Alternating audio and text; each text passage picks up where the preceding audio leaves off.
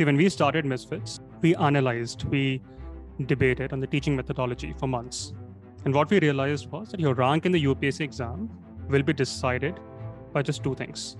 Do these two things very well. The first thing is definitely mental battles. Second is strategic battles. I will keep on reminding this before every class. I will keep on reminding this before your prelims examination, before your mains examination, before your interview, because this is the most important thing. Not just when you are preparing for the exam, but also when you are in the services. So win the mental game.